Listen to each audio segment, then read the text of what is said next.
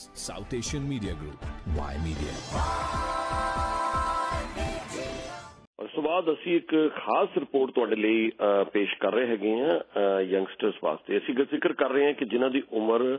20s ਦੇ ਵਿੱਚ ਹੈਗੀ ਆ ਇੱਕ ਨਵੀਂ ਰਿਪੋਰਟ ਜਿਹੜੀ ਆ ਉਹ ਬਾਹਰ ਆਈ ਹੈ, ਜਿਹਦੇ ਵਿੱਚ ਕਿ ਉਹਨਾਂ ਨੇ ਦੱਸਿਆ ਹੈ ਕਿ ਕਿਸ ਤਰੀਕੇ ਦੇ ਨਾਲ ਜਿਨ੍ਹਾਂ ਦੀ ਏਜ 20s ਦੇ ਵਿੱਚ ਹੈਗੀ ਆ ਉਹਨਾਂ ਨੂੰ ਕਿਹੜੇ-ਕਿਹੜੇ ਚੈਲੰਜਸ ਜਿਹੜੇ ਨੇ, ਉਹ ਸਾਹਮਣੇ ਆਉਂਦੇ ਨੇ ਔਰ ਜਿਨ੍ਹਾਂ ਦੀ ਉਮਰ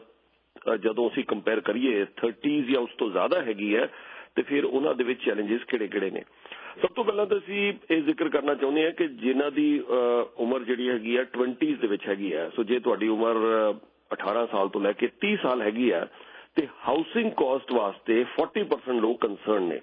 ਹਾਊਸਿੰਗ ਕਾਸਟ ਮਤਲਬ ਚਾਹੇ ਫਿਰ ਤੁਸੀਂ ਮੌਰਗੇਜ ਦੇਣੀ ਹੈ ਜਾਂ ਤੁਸੀਂ ਰੈਂਟ ਦੇਣੀ ਹੈ। ਸੋ ਜਿਨ੍ਹਾਂ ਦੀ ਉਮਰ 18 ਸਾਲ ਤੋਂ ਲੈ ਕੇ 30 ਸਾਲ ਹੈ 40% ਉਹਦੇ ਵਿੱਚ ਲੋਕ ਕੰਸਰਨ ਨੇ। ਪਰ ਜਿੱਦਾਂ ਹੀ ਇਹ ਫਿਰ ਏਜ 30 ਕ੍ਰਾਸ ਕਰ ਜਾਂਦੇ ਨੇ, ਜੇ ਤੁਸੀਂ ਇਹੀ ਸਰਵੇ 30 ਸਾਲ ਜਾਂ ਉਸ ਤੋਂ ਜ਼ਿਆਦਾ ਪੁੱਛੋ ਤੇ ਇਹ ਨੰਬਰ ਜਿਹੜਾ 40% ਹੈ ਹਾਊਸਿੰਗ ਕਾਸਟ ਦਾ, ਉਹ 22% ਤੇ ਆ ਜਾਂਦਾ ਹੈ। ਮੈਂਟਲ ਹੈਲਥ ਦੀ ਗੱਲ ਕਰਦੇ ਹੈਗੇ ਆ। ਮੈਂਟਲ ਹੈਲਥ ਦੇ ਮਾਮਲੇ ਦੇ ਵਿੱਚ ਜਿਨ੍ਹਾਂ ਦੀ ਉਮਰ 18 ਸਾਲ ਤੋਂ ਲੈ ਕੇ 30 ਸਾਲ ਹੈ 45% ਯਾਨੀ ਕਿ ਲਗਭਗ ਅੱਧੇ ਲੋਕਾਂ ਨੇ ਰਿਪੋਰਟ ਕੀਤਾ ਹੈਗਾ ਕਿ ਉਹਨਾਂ ਦੀ ਮੈਂਟਲ ਹੈਲਥ ਜਿਹੜੀ ਹੈ ਉਹ ਫੇਅਰ ਜਾਂ ਫਿਰ ਪੂਅਰ ਹੈ ਮੈਂਟਲ ਹੈਲਥ ਔਰ ਇਹੀ ਜਦੋਂ ਏਜ 30 ਨੂੰ ਕ੍ਰਾਸ ਕਰ ਜਾਂਦਾ ਹੈ ਤੇ ਉਹਦੇ ਵਿੱਚ ਇਹ ਨੰਬਰ 33% ਰਹਿ ਜਾਂਦਾ ਹੈ। ਹੁਣ ਲੋਨਲੀਨੈਸ ਦੀ ਗੱਲ ਕਰਦੇ ਹਾਂ। ਲੋਨਲੀਨੈਸ ਮਤਲਬ ਜੇ ਤੁ- ਤੁਹਾਨੂੰ ਘੱਟ ਤੋਂ ਘੱਟ ਹਫ਼ਤੇ ਦੇ ਵਿੱਚ 3 ਦਿਨ ਤੁਹਾਨੂੰ ਲੱਗਦਾ ਹੈ ਕਿ you are very lonely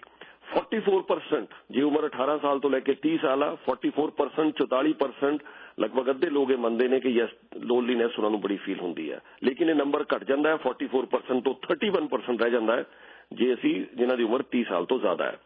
depression depression ਦੀ ਜੇ ਅਸੀਂ ਗੱਲ ਕਰੀਏ, ਤੇ ਜਿਹੜੇ ਲੋਕ ਕੰਸਿਸਟੈਂਟਲੀ ਜਾਂ ਮੇਜਰ ਡਿਪਰੈਸਿਵ ਡਿਸਆਰਡਰ ਦੀ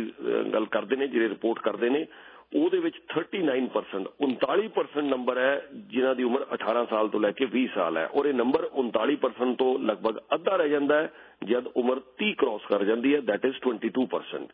ਐਂਗਜ਼ਾਇਟੀ ਐਂਗਜ਼ਾਇਟੀ ਜਿਹੜੀ ਹੈ 31% ਰਿਪੋਰਟ ਕੀਤੀ ਗਈ ਹੈ, ਜਿਨ੍ਹਾਂ ਦੀ ਉਮਰ 18 ਸਾਲ ਤੋਂ ਲੈ ਕੇ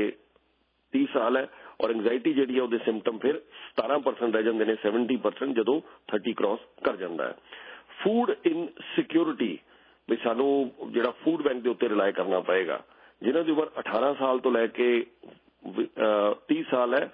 6x ਉੱਥੇ ਨੰਬਰ ਹੈ ਔਰ ਉੱਥੇ ਹੀ ਨੰਬਰ ਜਿਹੜਾ ਉਹ 3x ਦਿੱਤਾ ਗਿਆ ਹੈਗਾ ਸੋ ਲਗਭਗ ਅੱਧੀ ਰਹਿ ਜਾਂਦੀ ਹੈ ਫੂਡ ਇਨਸਿਕਿਉਰਿਟੀ ਜਦੋਂ ਤੁਹਾਡੀ ਉਮਰ ਅਹ, 30 ਸਾਲ ਤੋਂ ਕ੍ਰਾਸ ਕਰ ਜਾਂਦੀ ਹੈ।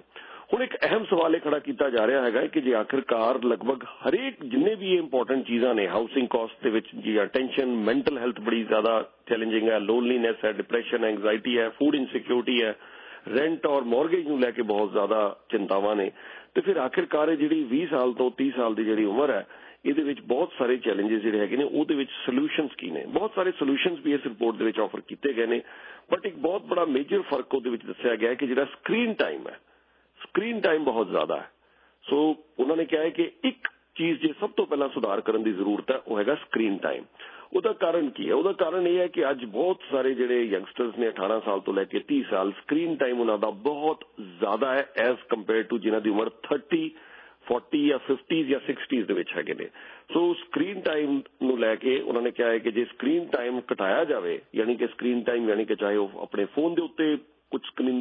ਕੁਝ ਸਕਰੀਨ ਤੇ ਦੇਖ ਰਿਹਾ ਚਾਹੇ ਆਈਪੈਡ ਜਾਂ ਲੈਪਟਾਪ ਦੇ ਉੱਤੇ ਜਾਂ ਟੀਵੀ ਦੇ ਉੱਤੇ ਸੋ ਜਿਹੜਾ ਸਕਰੀਨ ਟਾਈਮ ਹੈ ਜੇ ਇਹ ਘਟਾਇਆ ਜਾਏ ਤਾਂ ਇਹ ਇੱਕ ਸਿੰਗਲ ਲਾਰਜੈਸਟ ਫੈਕਟਰ ਹੋ ਸਕਦਾ ਹੈਗਾ ਕਿ ਇਹਦੇ ਨਾਲ ਫਾਇਦਾ ਹੋ ਸਕਦਾ ਹੈਗਾ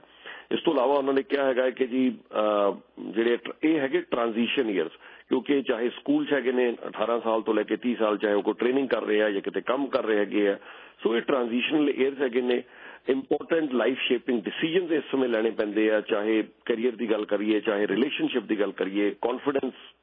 ਦੀ ਗੱਲ ਕਰੀਏ, ਔਰ ਐਕਸੈਸਿਵ ਸਕਰੀਨ ਟਾਈਮ ਹੋਣ ਦੇ ਕਾਰਨ ਇਹ ਸਾਰਾ ਚੈਲੰਜ ਜਿਹੜਾ ਹੋਰ ਬਹੁਤ ਜ਼ਿਆਦਾ ਵੱਧ ਗਿਆ ਹੈਗਾ।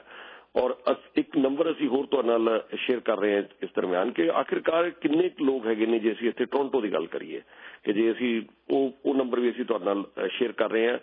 ਅਸੀਂ ਇਕੱਲੇ ਸਿਟੀ ਆਫ ਟੋਰਾਂਟੋ ਦੀ ਗੱਲ ਕਰੀਏ ਤੇ ਤਕਰੀਬਨ 4 ਲੱਖ 30 ਹਜ਼ਾਰ ਲੋਕ ਐਸੇ ਨੇ ਜਿਨ੍ਹਾਂ ਦੀ ਉਮਰ 20 ਸਾਲ ਤੋਂ 29 ਸਾਲ ਹੈ ਸਿਟੀ ਆਫ ਟੋਰਾਂਟੋ ਦੀ ਅਸੀਂ ਸਿਰਫ ਇਸ ਸਮੇਂ ਗੱਲ ਕਰ ਰਹੇ ਹਾਂ। ਸੋ ਇਹਦਾ ਮਤਲਬ